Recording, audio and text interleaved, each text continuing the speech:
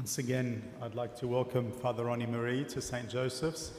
Um, Father Ronnie Maree, as uh, some of you, all of you may know, is a priest who was ordained last August in the Latin Church.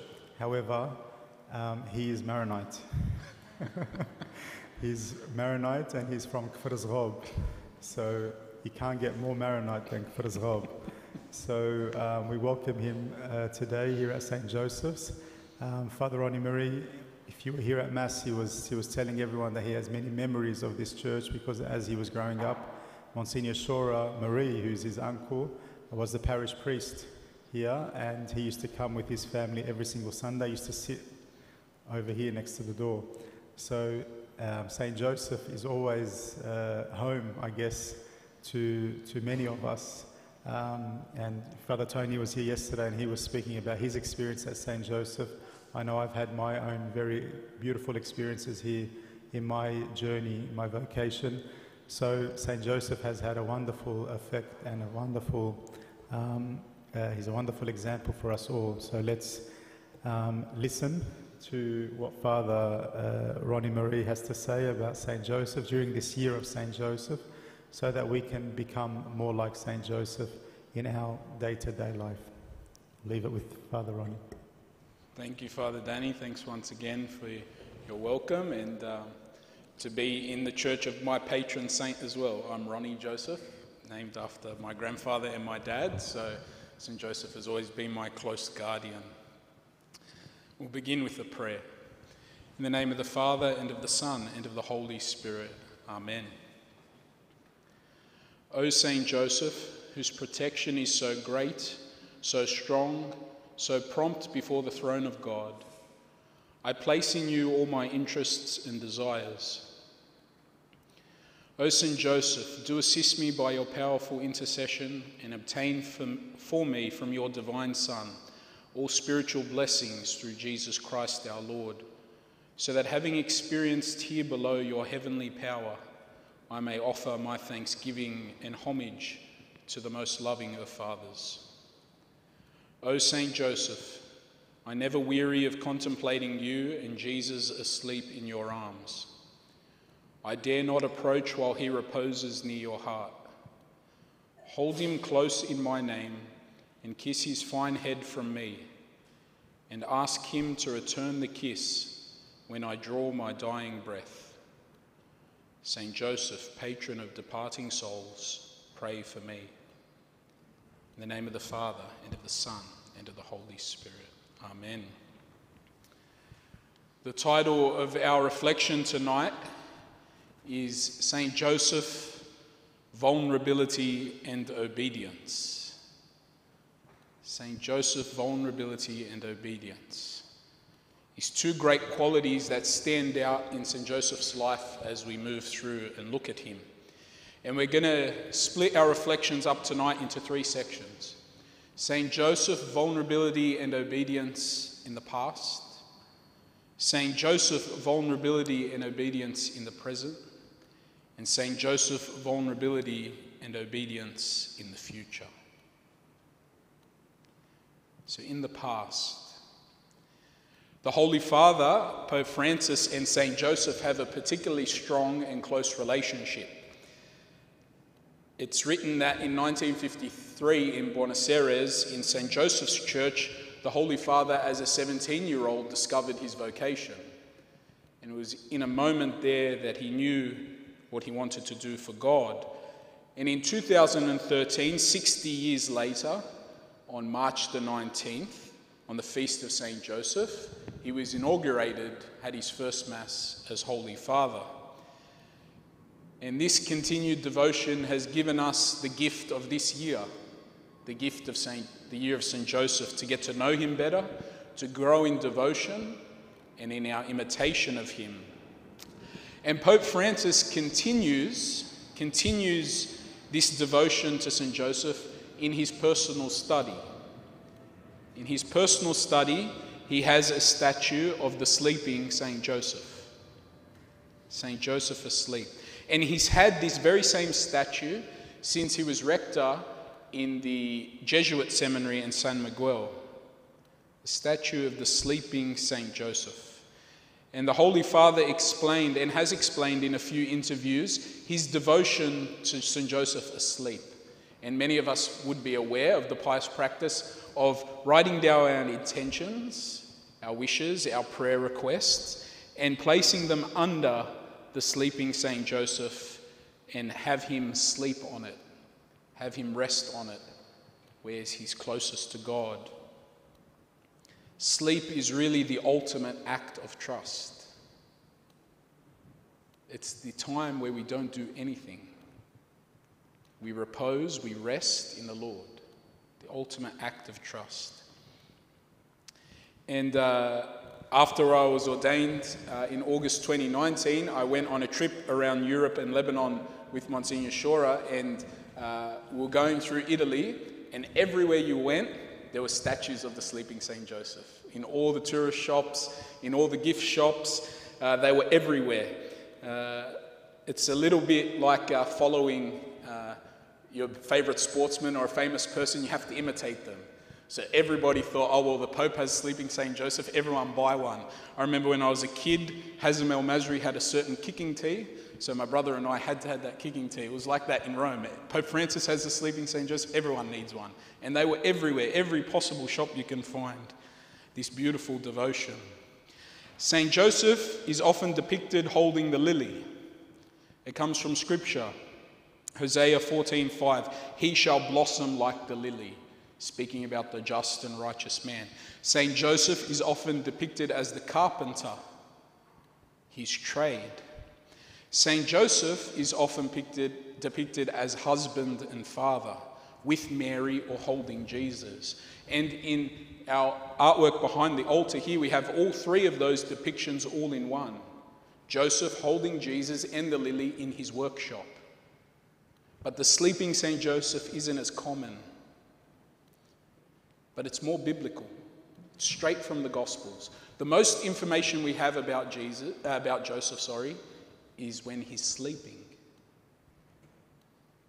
All the most critical moments, all the most standout moments, all the most significant moments in the life of St. Joseph we have recorded in the Gospel involve him being asleep. So, Joseph being asleep and dreaming. And it's very interesting to note at all these moments, at all these critical moments, when Joseph takes center stage in the story of the Holy Family, in the story of Mary and Jesus, they're also a time of deep crisis, deep vulnerability, trouble. Times when the Holy Family are most challenged.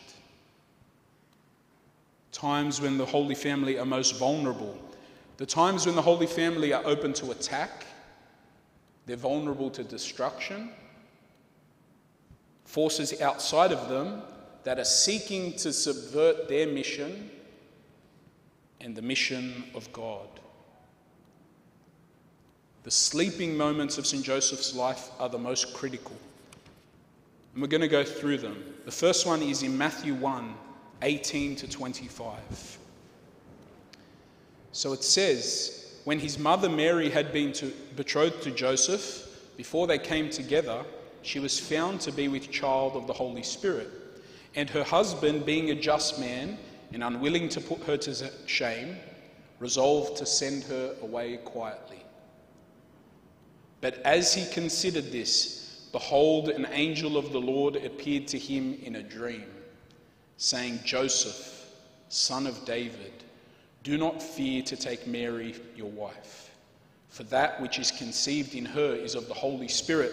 She will bear a son, and you shall call his name Jesus, for he will save his people from their sins. All this took place to fulfill what the Lord had spoken by the prophet. Behold, a virgin shall conceive and bear a son, and his name shall be called Emmanuel, which means God with us. When Joseph woke from sleep, he did as the angel of the Lord commanded him. He took his wife, but knew her not until she had borne a son, and he called his name Jesus. Joseph was resolved to do away with Mary. He was resolved to divorce her, to send her away. Joseph had made up his mind to leave Mary as a single mother and to therefore leave her vulnerable and her unborn divine son vulnerable to stoning by death. The Holy Family, in that earliest, most crucial moment, was on the brink of destruction. If Joseph refused, who knows what would have happened to our Blessed Mother? But Joseph falls asleep, he dreams, and in that dream, he hears the will of God. In the most vulnerable, critical, challenging time for the Holy Family, they're on the brink of destruction. St. Joseph, while he's sleeping, hears the will of God. And he not only hears it, he wakes up and follows it. And Joseph's obedience saves the day. Joseph's obedience ensures the Holy Family remains safe. Joseph's obedience mean God, means God, God's mission continues. The Second Vatican Council, quoting St. Paul, said, The greatest thing we have to do as, in Christians, as Christians is to respond to God in the obedience of faith, to hear His word, and to give ourselves totally and completely to Him in the obedience of faith. And that's exactly what St. Joseph does. The Holy Family is incredibly vulnerable, but St. Joseph's obedience overcomes that challenge. It's very interesting. Once St. Joseph makes that decision, we hear that the scriptures are fulfilled. The plan of God continues. Joseph says, Yes, I'll take Mary as my wife. And then straight away it says, All this took place to fulfill what the Lord had spoken by the prophet. A virgin will conceive and bear a son. That God has his plan it's unfolding. And Joseph's obedience is part of that plan.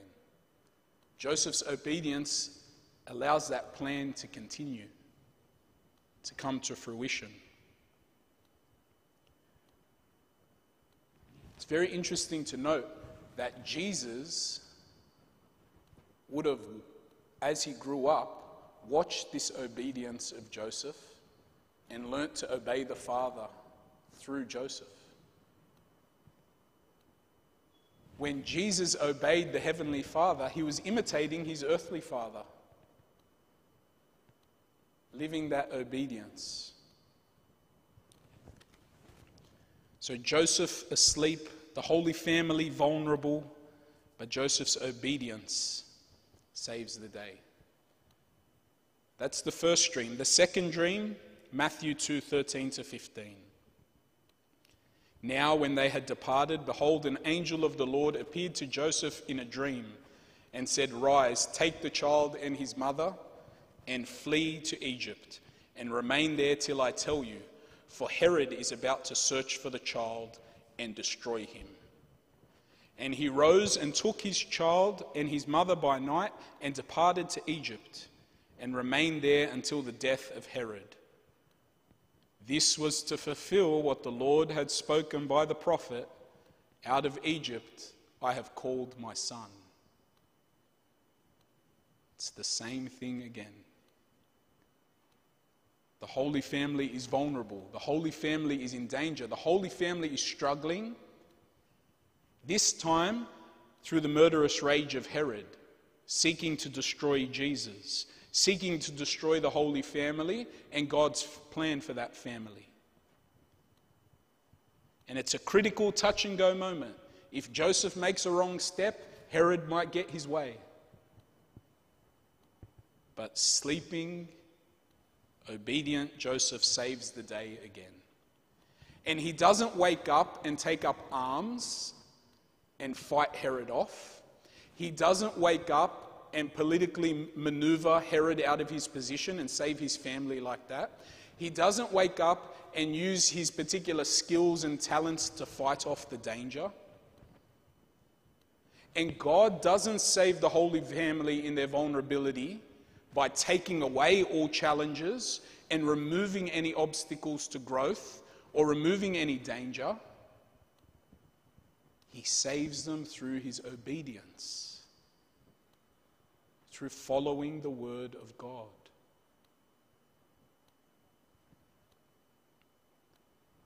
In the same pattern again. Because he did that, what happens? The scriptures are fulfilled. God's plan continues on. It says, This was to fulfill what the Lord had spoken by the prophet Out of Egypt I have called my son. Joseph's obedience, once again, leading to the mission, the plan, the fulfillment of God's saving design.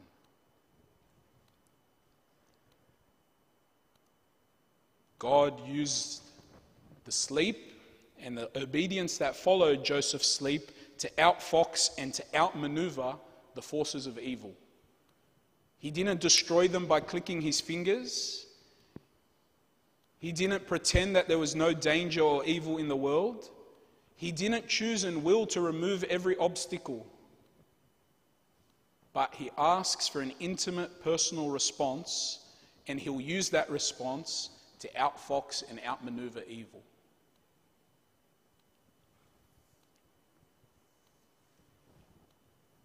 Two more dreams very quickly. Matthew 2.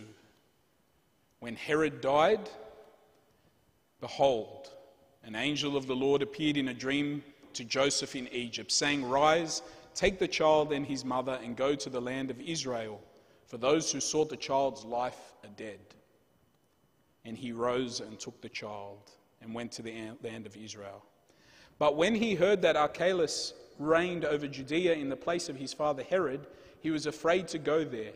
And being warned in the fourth dream, he withdrew to the district of Galilee.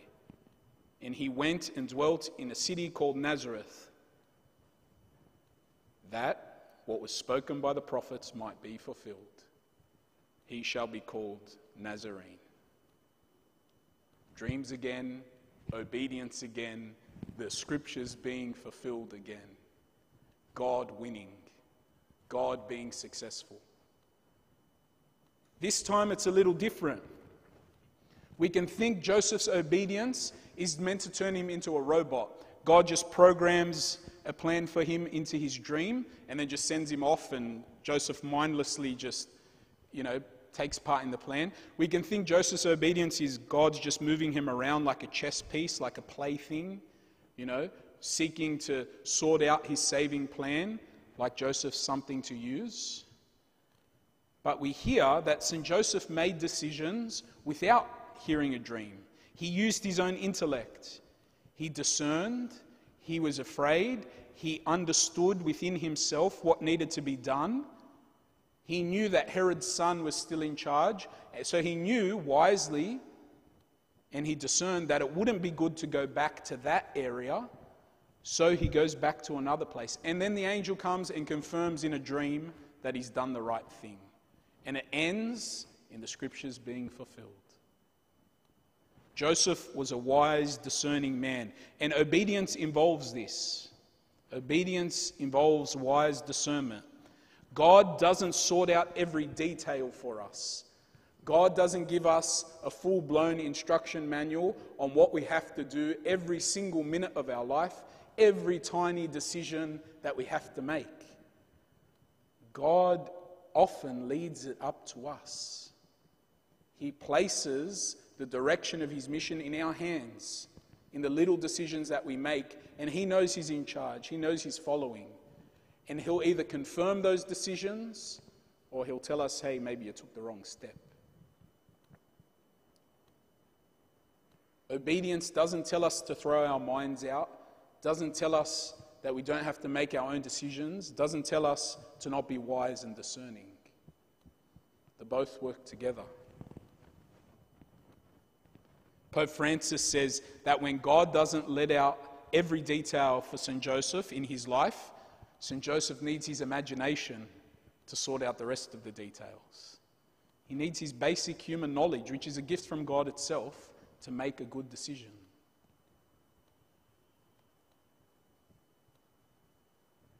This has to do with the whole of the incarnation as well, the whole of Jesus becoming man. The conception of Jesus is a divine work, it's God's work, which surpasses all human understanding and possibility. It's God's doing, His, his action. But God intimately involves Joseph and Mary in his action. It's all Him, but they have a part to play. St. John Chrysostom speaking about this, that the incarnation, Jesus becoming man, was all God. He says, Don't think, he's speaking to St. Joseph, don't think this divine work has nothing to do with you. I associate you intimately with the one who is to be born. The Holy Family vulnerable, Joseph obedient, the plan of God being fulfilled.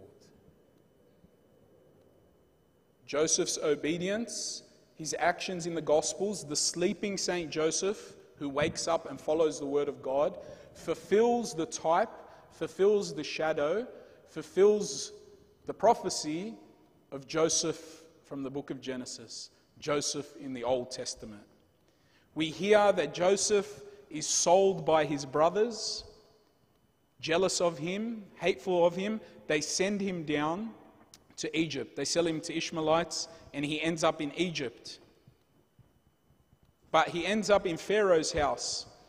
And it says in Genesis Joseph found favor in the sight of Pharaoh because he was a very successful guy. And Pharaoh made him overseer of his house and put him in charge of all that he had. And St. Joseph, uh, not St. Joseph, sorry, St. Joseph, the patriarch from the Old Testament, begins to have more dreams. And he has a dream that Egypt and the whole world is going to go through a famine. So he says to Pharaoh, We've got to do something about this. We've got to start storing up bread and grain so that our people won't die. We're going to go through a great crisis. We're going to go through a great challenge. Egypt is going to be very vulnerable, but we need to do something about it. And Pharaoh says, Yeah, build the silos, start storing the grain, prepare for the famine. And St. Joseph becomes the protector of the bread. Joseph becomes the protector of the bread that saves Egypt and saves Israel. The famine hits, the whole world, it says in Genesis, is looking for bread, and only Joseph in Egypt had it.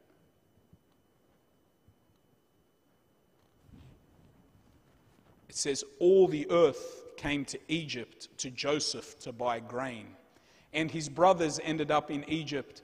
The ones who sold him, the ones who were jealous, the ones who sent him down there, they come to Egypt and they don't know where Joseph is, but he reveals himself to them and says, Don't worry, don't worry. God sent me before you to preserve life. God sent me before you to preserve for you a remnant on earth and keep alive many survivors.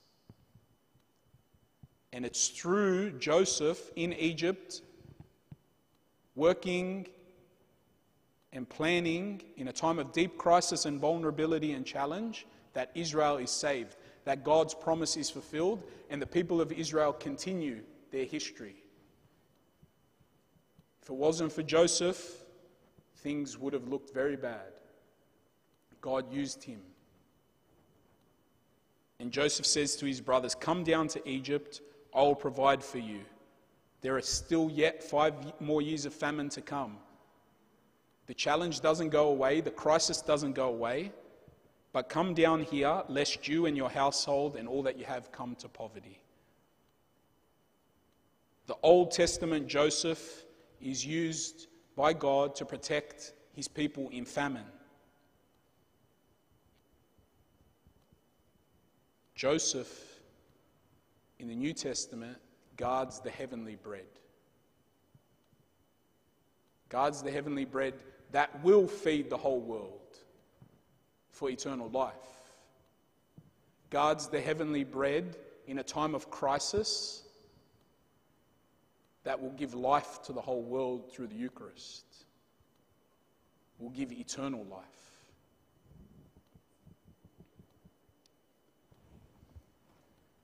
That's St. Joseph, vulnerability and obedience in the past. St. Joseph, vulnerability and obedience in the present. The conflict that we see that Joseph has to come up against and contend with as the head of the Holy Family in those beginning stages of Jesus' life is only just the beginning of the conflict that Jesus would have to put up with his entire mission, his entire life. The conflict, the hostility, the opposition, even the open warfare they were all continually part of the mission of Jesus. All through the gospel, there's a great battle going on between the divine power of salvation brought to earth through Jesus and the worldly power of evil that this divine power has come to threaten. In the early stages, we see that fight with Herod and all those who wanted to see Jesus dead. But that fight goes on throughout the whole gospel. And it's not forceful resistance that helps Jesus through these difficulties. It's not fighting back. It's not through any worldly means that he fights this conflict. He fights it in non-violent obedience the fight goes all the way to the cross. Sacrificing himself on the cross is where Jesus, in obedience to the Father, wins the battle. The attack, the danger, the conflict, the trouble that was part of the life of Christ will always be part of the life of his body the conflict, the attack, the danger, the vulnerability that was part of the life of Jesus will always be part of his church. We're on rough seas towards heaven. We're on a battleship, not a cruise ship. We're going through trouble. We're going through difficulty. And we may think that trouble and difficulty only belongs to our time, but it's always part of the church. It's always part of the church because it's always part of Christ.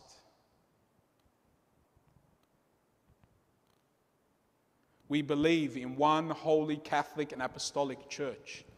Some people say we should add one to that. We believe in one holy Catholic apostolic, and persecuted church.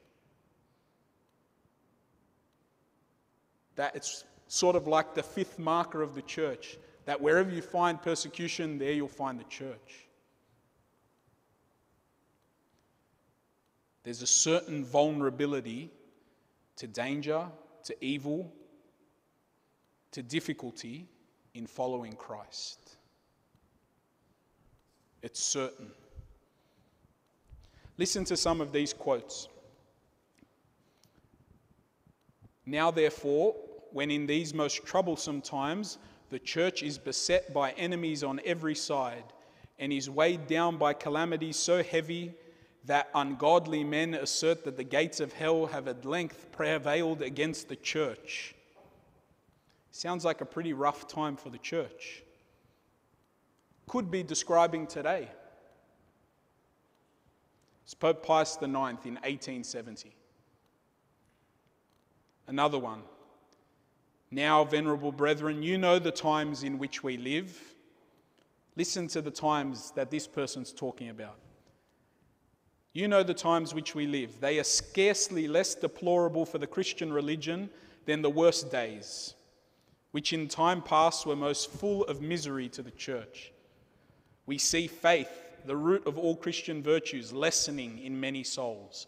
We see charity growing cold, the younger generation daily growing in depravity of morals and views, The church of Jesus Christ attacked every side by open force or by craft, and the very foundations of religion undermined with the boldness which waxes daily in intensity.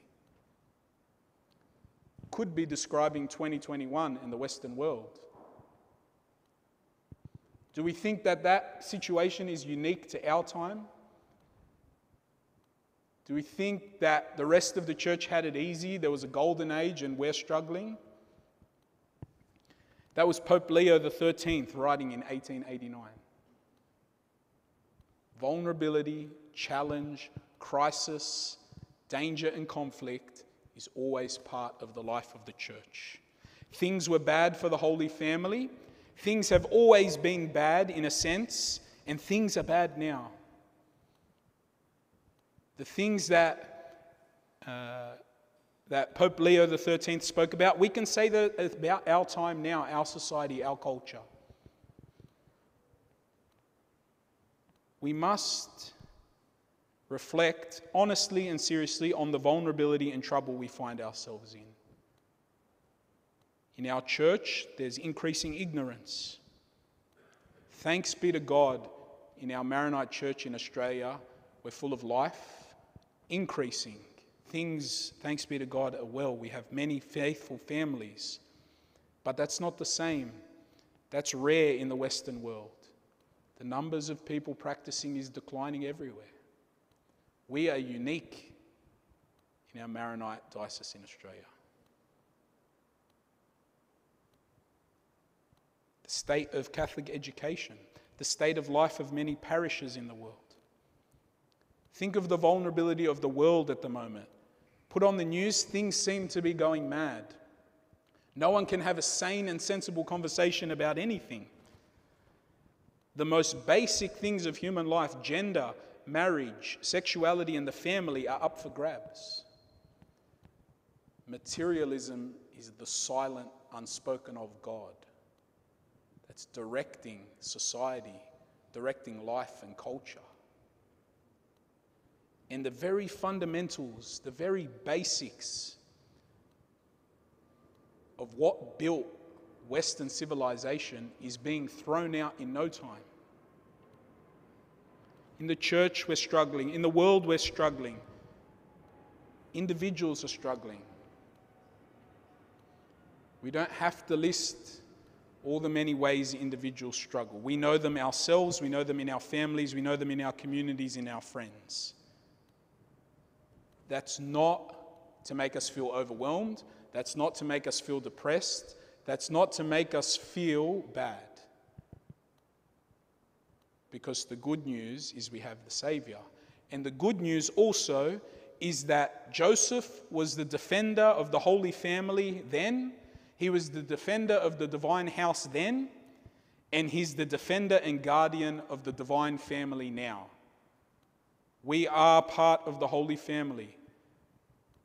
That small nuclear family of three people has grown to billions and billions, all through history, through the centuries.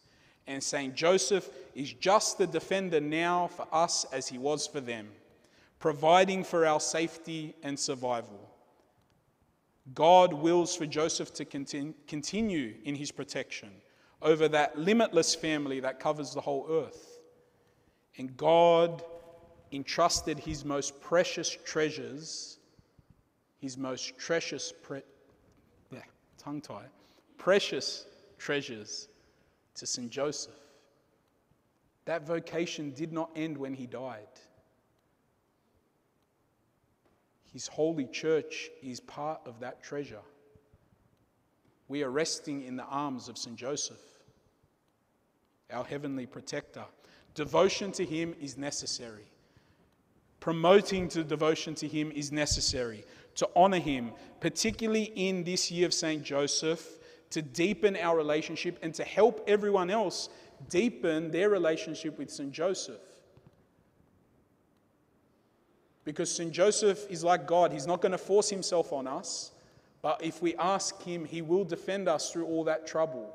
All that bad news that I listed, all that trouble, all the way we think the church and the world is falling apart, The quiet, sleeping St. Joseph is ready to help. Ready to help. The words of Pharaoh in Genesis give us our motto Pharaoh, the evil one, not always, but often depicted as, as an evil one in the scriptures. What does Joseph, Pharaoh says to his people? Go to Joseph. What he says to you, do. Go to Joseph. We've put that all over our churches. That's the motto. The words of Pharaoh, a pagan. The church has taken those words and we've used them for our relationship with our father, Joseph. Go to Joseph. In time of difficulty, in time of famine, in time of trouble, in tri- time of crisis, in vulnerability, go to Joseph. It's what he's there for.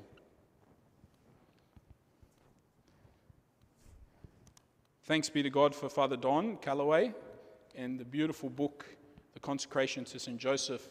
It's given me a bit of material for tonight. In one beautiful chapter, Saviour of the Saviour, the title for St. Joseph. Sounds a little bit odd. Jesus can't have a Saviour. There's nothing really. A Saviour frees you from sin. Jesus had no sin. But Father Don, quoting Blessed William Joseph Chaminade, says, to give life to someone is the greatest of all gifts. To save a life is the next. Who gave life to Jesus? It was Mary. Who saved his life? It was Joseph. Ask St. Paul who persecuted him, St. Peter who denied him. Ask all the saints who put him to death. But if we ask who saved his life, be silent, patriarchs, be silent, prophets, be silent, apostles, confessors, and martyrs. Let Saint Joseph speak, for this honour is his alone. He alone is Saviour of the Saviour.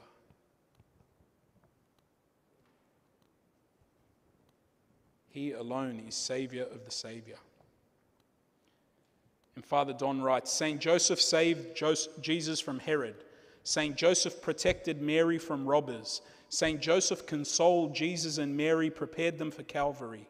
St. Joseph was in the hearts of Jesus and Mary at Calvary. St. Joseph, your spiritual father, wants to protect you, prepare you, console you, and help make you and your life a sacrifice for others. The saints are our great intercessors, they're our great protectors. They pray for us, but they're also our models. We're not only meant to pray to Joseph, we're meant to imitate him, join him in his vocation. Vulnerability, danger, persecution, trouble is part of the economy of salvation. It's part of God's plan. But we think, Pope Francis says, we think God works through our better parts, God works through our successes. But most of his plans are realized in, this, in despite of our frailty, our weakness.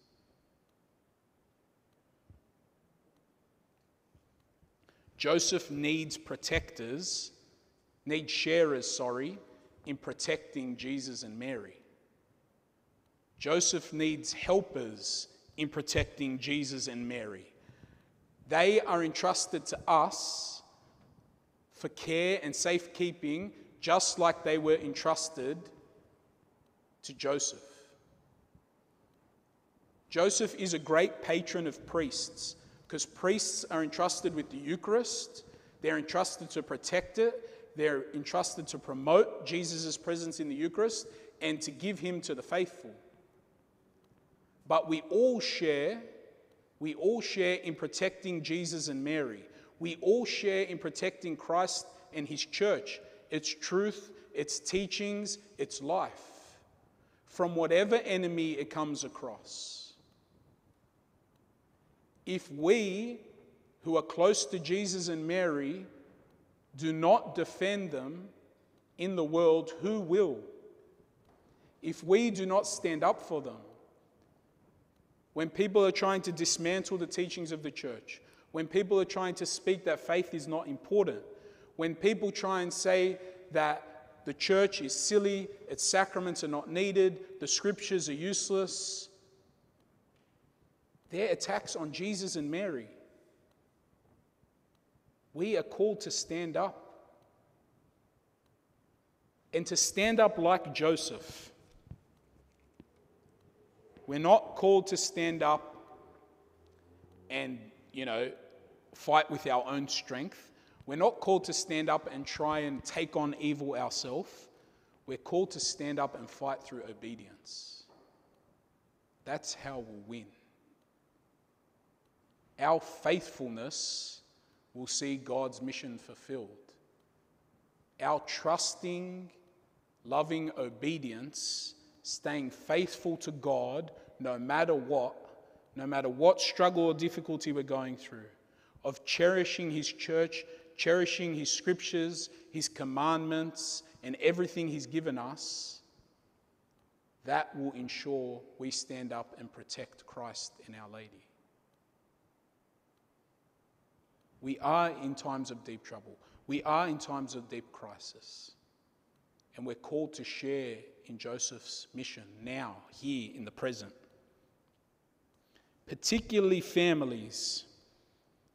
Families have a mission by modeling their life on the Holy Family. They have a mission to guard, to reverence, and communicate love in a world that's forgetting love.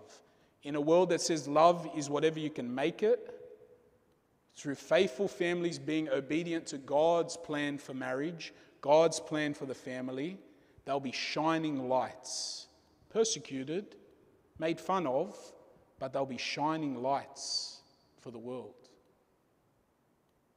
Workers, people who work as Christians, not work with money as their God, but work with Christ as their God and money flowing after that, money being down on the list. They will be shining lights. Joseph's vulnerability and obedience in the past, in the present, and to conclude now in the future. What is our ultimate human vulnerability? Death. Death is our ultimate human vulnerability. We try and extend life, we try and live for as long as we can. Life expectancy is growing. Most people think that things are all right. You know, the majority of people are doing all right. Humanity can fall into the trap of feeling we're self sufficient and just when humanity thinks we're self sufficient, that we can make happiness ourselves, you remember death. That's the one hurdle, the one obstacle, the one crisis that human power does not have the ability to outfox. Death is the great equalizing vulnerability of humanity.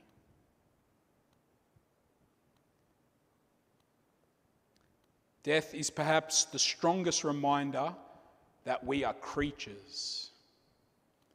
Perhaps the strongest reminder that we're dependent. That jumping that hurdle is beyond our power. Death involves struggle, death involves suffering. It's a bitter trial. And particularly for the faithful Christian, there will be particular temptations around the moment of death. The devil having his last hurrah, trying to get us to undo a life of faithfulness and love. Death is a lonely and helpless experience. No matter how much family we have around us, we still ultimately go through it alone. And it's a humiliation in the sense of the word that it reminds us of who we truly are. But Saint Joseph is the patron of a happy death. He teaches us vulnerability and obedience in the future, whether that be tonight, whether that be next week, or whether it be in 50 years. St. Joseph teaches us how to live obediently in that vulnerable state. He shows us obedience and faithfulness in our greatest vulnerability. St. Joseph gave his whole life, gave it all up for Mary and Jesus, and he died enjoying the consolation of dying in their arms, holding the hands of Mary and Jesus. Can you think and imagine the words of encouragement that they would have given him? How consoling their words and their presence would have been in that moment for St. Joseph? He would have been going through incredible suffering, most probably knowing that Jesus was going to go to the cross and knowing that Mary would have to stand and witness that as well. But those faithful, loving, consoling words from Jesus and his Blessed Mother would have been a great gift to St. Joseph in those final hours. Would have helped him to accept death in loving submission and obedience. Death as a crown of his whole virtuous life, dying as he lived.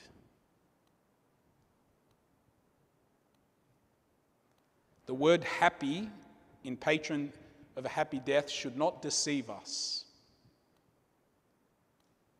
It shouldn't deceive us. It's not like it's an enjoyable experience, it's not like it's all great. But when lived with faith and hope, there is a peace and a deep joy. And that's what we're talking about with a happy death. I'm sure Father Danny the deathbed of people has seen that as well. I'm sure many of us have seen that perhaps in our families. For me, they are the most touching, most beautiful, and most profound moments of my priesthood.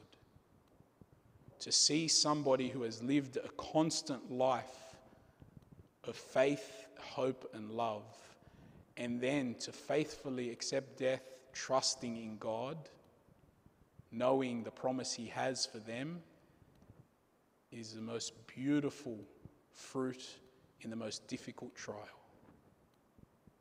Saint Joseph, patron of a happy death. St. Paul says to us if we live with Christ, if we die with Christ, sorry, we will live with him. Our physical dying with Christ began the moment of our baptism when we were buried with him in the waters, and physical death completes that process. And we hope we hope to follow St. Joseph's example in living that as well. And particularly in this year, another difficulty, another struggle we're going to face is most probably in New South Wales. There'll be a bill introduced to have euthanasia begun in New South Wales. A time where society and culture thinks that that moment God isn't there. At that moment, life is irredeemable. At that moment, there's nothing good that can come from it. Saint Joseph, the patron of a happy death, teaches us something different. Teaches us that even those moments are most precious to God. Even in those vulnerable moments, our obedience brings God's plan to fruition.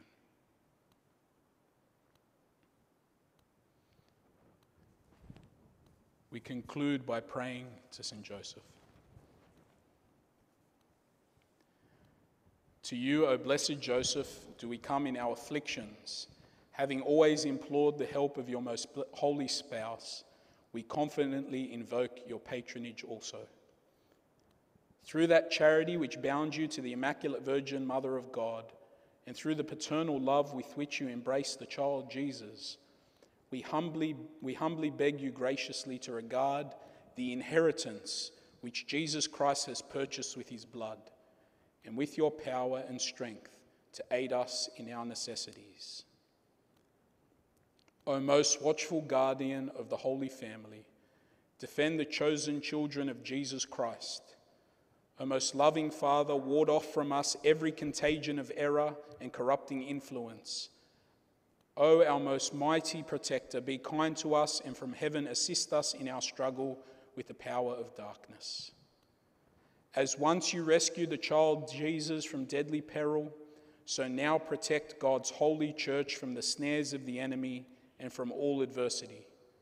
Shield too each one of us by your constant protection, so that supported by your example and your aid, we may be able to live piously, to die in holiness, and to obtain eternal happiness in heaven. Amen. Jesus, Mary, and Joseph, keep us a happy and holy family always.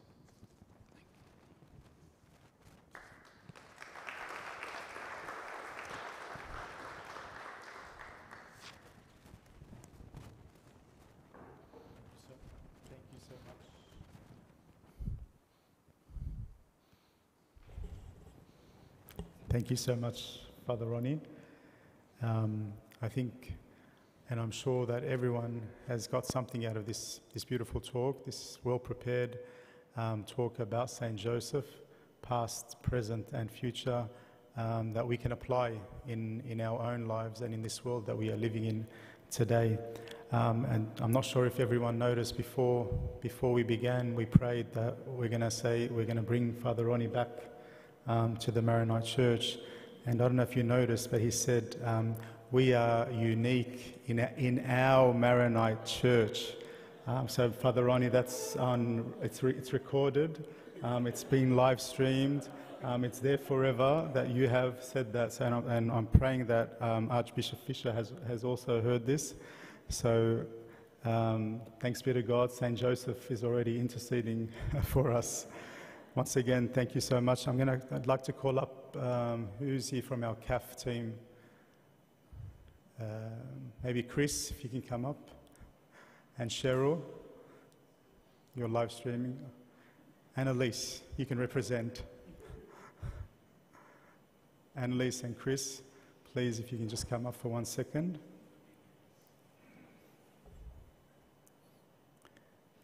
And we've just prepared something very small for you, Father Ronnie, just as a token of our appreciation in this year of St. Joseph.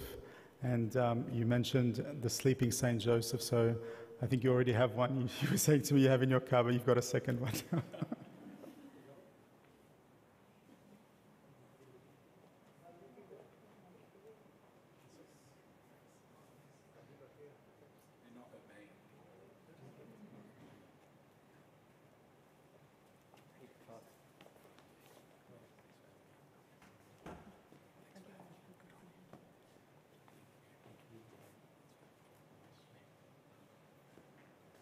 And uh, you're welcome anytime here at St. Joseph's, Father Ronnie. Um, we're going to take a photo um, with Father Ronnie. So I'm going to ask everyone to please come up um, to the front of the church. And afterwards, so when we finish from here, everyone is invited downstairs to share in um, a light supper.